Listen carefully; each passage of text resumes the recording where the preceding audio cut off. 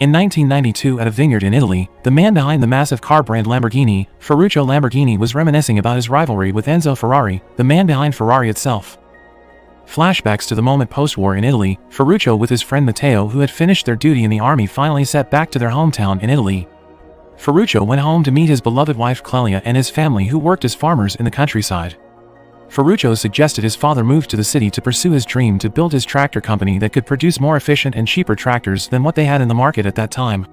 He had a lot of experience from his time in the army as a mechanic and he just wanted to raise his family finances and reputation so that everyone would know who Lamborghini is. He wanted to carve the name Lamborghini into history. Unfortunately, his father didn't stand on the same side as him. He thought that their life as a farmer is enough for them and that his thought was way too much for their family to handle. He was pessimistic that they wouldn't have what it takes to compete in the market with the already developed brands out there. His father kept denying his idea and showed his pessimistic questions without any hesitation. Ferruccio didn't give up on his dream. Six months later, he and Matteo attended a car racing competition using the car he made himself that he claimed would be able to compete at the same level as the other cars. Their goal in attending the competition was to get famous and to raise funds for their tractor company. And so, they had to win the race because the trophy would be given by Enzo Ferrari himself to the respected winner. The race started. The competition heated between Porsche in the first place, Ferruccio's car in the second place, and Mercedes in the third place. Ferruccio told Matteo to overtake the first place but sadly, their underdeveloped car engine was not good enough to take the chance and instead ended up in the last place. Ferruccio who hated their loss suddenly took over the steer and caused an accident for them, their loss in the competition made Ferruccio blame himself and thought that he was not as good as he thought all the time, but his wife Clelia said that she believed that Ferruccio would be able to make his dreams come true. He just didn't know how to properly did it. Clelia then told him that she was pregnant and made him happy. Since he had lost the competition, he also lost all his money. Ferruccio then dared himself to borrow some money from his dad to make his first tractor and start the company. He said that he would pay for it and even gave interest. Looking at Ferruccio's ambition, his father finally believed in him and lent him his savings. He even mortgaged his farm for his son's dream. When Claudia found out that Ferruccio's father had mortgaged the farm, she got irritated. She knew that well that the family had done as much as they could to prosper their farm and mortgaging it for money was a bad idea. She forced Ferruccio to return the money to his father, but Ferruccio with his big dream decided to open his account in the Bank of Cento, which the owner, Vito Rossi, was personally acquainted with the Lamborghini family. Ferruccio then started designing his first tractor which he named the Carioca, a small yet tough and fuel-efficient. He was sure that the tractor would be a massive help in the industries. They then went to buy a junk car and stripped down its spare parts one by one to build the tractor, until one day, Matteo saw a woman and suddenly, he fell in love with her. Matteo who didn't dare to talk to the woman then helped by Ferruccio. He talked with the woman whose name was Anita and introduced Matteo to her. But unfortunately, Matteo couldn't keep his composure and stuttered in front of her. Anita instead took an interest in Ferruccio. They then continued their progress with the tractor and once again, saw Anita coming out of the bus. Ferruccio also took his time to spend with his wife. He couldn't wait much longer to meet his son. Long story short, Clelia's Labor Day finally arrived. Ferruccio still took his time at the workshop to keep his progress with the tractor before his wife's schedule for the labor, but unfortunately, he was late because of waiting for the finishing of the Lamborghini logo he ordered. When he returned home, he found out that Clelia had a hemorrhage and was rushed to the hospital. He panicked and rushed to the hospital to see his wife. On the other hand, Clelia who was struggling with her labor kept calling for Ferruccio's name who hadn't shown up yet. She kept bleeding and yelled his name. Sadly, the doctor couldn't stop the bleeding and caused her death, although they could save the baby. He blamed himself and started rampaging and destroying things in his workshop. After the funeral, his son was baptized and given the name Antonio or what he used to call Tonino. Long story short, Ferruccio finally finished his first tractor and visited Vito Rossi the owner of the bank to show him his work. He explained that despite its half-sized from the common tractor out there, it had twice as efficient and tougher engine than any other tractor. His goal in presenting his tractor to Vito Rossi was to get investment from him to start his company and make a thousand units of his tractor to sell to the mass. With the cutting-edge technology in his tractor, he finally managed to convince Vito Rossi to invest in his company. That night, they celebrated their success in a luxurious restaurant when suddenly, Anita showed up. That was when Matteo said that he had a crush on her and was in love with her. He always dreamed of her. Ferruccio then dared him to have a chat with Anita while he would leave them alone to smoke outside but shortly after, Ferruccio was surprised to see Anita coming out of the restaurant to meet him. She said that she had a chat with Matteo but she was only interested in Ferruccio. She then sit beside him and talked. Matteo who saw them from behind was heartbroken. The friendship between them was interrupted by a woman.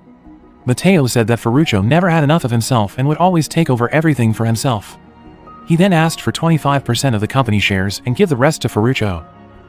Finally, in 1962, Ferruccio finally managed to significantly develop his company and named it Lamborghini Trattori Factory and gain all his fame and wealth. He had married Anita and made her his accountant. His son Tonino had also grown up. Anita told Ferruccio to spend more time with his son because he didn't need the wealth but his father's love. He agreed with his wife and spent more time with his son. He took him and bought him a boat. One day, someone came to Ferruccio and asked for a job. His name was Bob Wallace. He claimed to be an expert in mechanics and race. He had applied for a job in many other factories but never received any call from them and so he decided to apply for Lamborghini. Ferruccio then tested Bob's knowledge about engines. He showed his Ferrari which had been broken for quite some time. Bob then gave him a suggestion that amazed him. He then took Bob to meet someone. That someone was Enzo Ferrari. When they arrived, Ferruccio immediately approached him who had just come out of the building he praised Enzo Ferrari for his achievement as the best car manufacturer in the world. He even told him about his collection of seven Ferraris in his garage but he suddenly criticized that all of his cars had the same problem which was the clutches that were too noisy and badly manufactured. It turned out that his statement before was his way to offering cooperation between Ferrari and Lamborghini because he claimed that he had a better clutch technology that was well built, along with his advanced engines. Unfortunately, Enzo Ferrari instead mocked him and arrogantly told him that he was just a farmer and was not on the same level as him. After that, Ferruccio went to a Matador museum and saw pictures of the Miura bull which was known for its strength. Looking at the pictures, Ferruccio suddenly had an idea to produce a car that could beat Ferrari. He then immediately started his plan. He recruited well-known experts from competitors like Giotto Bizzarrini from Ferrari, Gian Paolo Dallara from Maserati, and Franco Scaglione from Alfa Romeo. Ferruccio then told them about his first car concept which he named the Lamborghini 350 GT with an engine as strong as a race car but his concept was not possible to apply. Gian then had an idea to build some part of the car with aluminum which would make the engine 50% lighter. Ferruccio then told them to finish the car in just six months so that he could show off his car at the Geneva Motor Show, one of the most prestigious international motor shows up to date. As for the short deadline, they planned to call for other experts to help with the manufacturing of the car's axle and brakes. Even though they were initially pessimistic about their concept, Ferruccio managed to convince them that their car concept would be the greatest car to ever be manufactured in the world. Days and weeks passed with Ferruccio trying to make his car concept. He even spent all the company's money on the Lamborghini 350 GT manufacturing. While having dinner with Ferruccio, Anita told him to stop his plan to build the car because if he failed, his company would go bankrupt.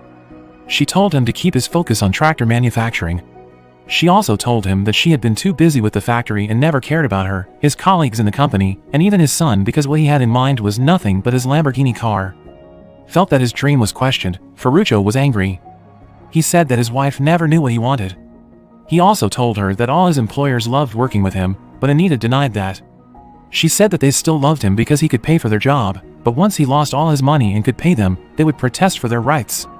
She then told him about their new secretary vacancy because she had fired their former secretary. She found out that Ferruccio had an affair with her. The first Lamborghini car factory was finally built. Even though they only had three more months before the Geneva Motor Show, Ferruccio still hadn't finished with the concept. He kept complaining about the car design that was not stunning enough or the dual carburetor that was way too big because of the limited space in the hood. In the night, Bob Wallace came to Ferruccio and told him that he wanted to be the test driver for his first Lamborghini car. Looking at how persistence, Ferruccio finally agreed to keep him as his test driver. He also drew the Miura Bull as the new logo of his Lamborghini car. The car design that Ferruccio asked for was finally finished. The dual carburetor had also been customized to fit in the hood. The assembly had finally finished. To celebrate the success, he went to a party where he met a woman named Gabriella. He was interested in her and spent the rest of the night chatting with her. Unfortunately, Anita and Tonino showed up at the party, just when Ferruccio was teasing the woman, Looking at her husband, she immediately asked for a divorce from him. Days after, the prototype test drive was held. Ferruccio was impressed with the result. He then asked to change the car's color to green to show in the motor show later. In 1964, the Geneva Motor Show was finally held. New cars from luxurious and well-known brands were shown in the show, especially Lamborghinis which was still covered behind the curtain. He proudly claimed that his car was a new invention with advanced technology that would surpass the other brands. In his interview, he took his time to ask one of the women there to give a paper to Enzo Ferrari which turned out to be his drawing of a bull and horse to mock Enzo Ferrari. They finally opened the curtain and showed the Lamborghini 350 GT. Everyone was stunned by the design. With his confidence, he looked at Enzo Ferrari and said you buy Ferrari if you want to be someone, but you buy Lamborghini when you are someone. You buy a Ferrari when you want to be someone. These things are worth whatever they ask you to pay for them. You buy a Lamborghini when you are someone. Bravo, bravo! Sadly, the success didn't stay for long. The war in the 70s caused inflation that resulted in a massive decline in Lamborghini sales. As Anita said, the labor in his company protested for their rights. Ferruccio had to sell his company shares and split them in half for his son, and the other half for his other families. Tonino asked if what Ferruccio had achieved was worth it but he could say a word. Was it worth it, Papa? I should get home now. Ciao, Papa. Not long after, Ferruccio bought a farm and produced wine. He saw his family photo and reminisced while driving his Lamborghini Miura, the car that was famous at that time. He remembered about his life, his first wife Clelia, and until now when he finally achieved his dream.